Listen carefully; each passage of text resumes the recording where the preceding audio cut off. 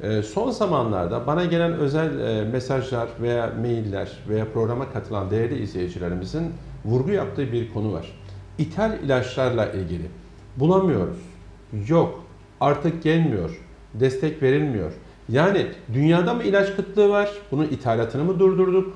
Ve bu konuda Türkiye kendi ilacını, milli ilacını veya tıbbi cihazlarını üretebilecek bir altyapıya, kapasiteye sahip değil mi? E, bu benim e, çok doğru yorumlar yapabileceğim bir alan değil.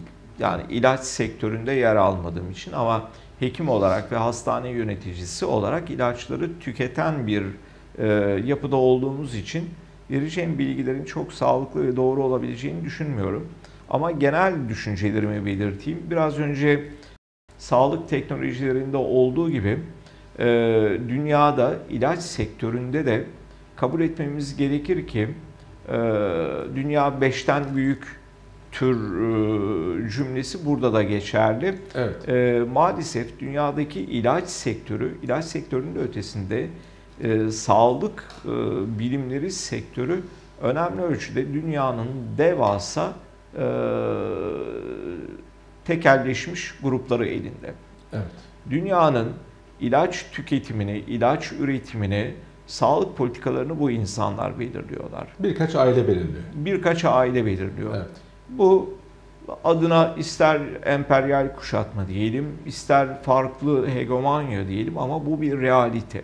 Evet. Burada yine tıbbi teknolojilerde olduğu gibi en basit iletişim teknolojilerinde de aynı şeydir. Aynı şeydi. Ee, cep kullandığımız cep telefonlarında da olduğu gibi uluslararası yarışta geri kalmak istemiyorsanız başka ülkelerin ister teknoloji ister ilaç sektörü onların bağımlıları halinde kalmak istemiyorsanız bir tek seçeneğiniz var üreteceksiniz. Evet.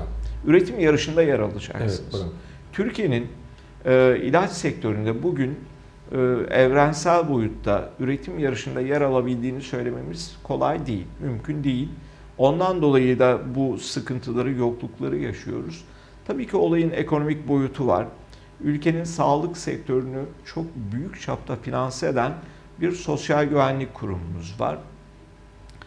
Ee, orada kişisel bakışım biraz farklı. Yaşadığım bir olaydan dolayı farklı. Biz sosyal güvenlik kurumunu e, deyim yerindeyse bizim her şeyimizi karşılaması gereken bir kamu kurumu Gibi ve görüyoruz. e, görüyoruz. Oysa sosyal unutmamak gerekir ki sosyal güvenlik kurumu ya da diğer sosyal güvenlik kuruluşları ancak bizim katkılarımızla ayakta kalabilecek, varlığını sürdürebilecek kurumlardır.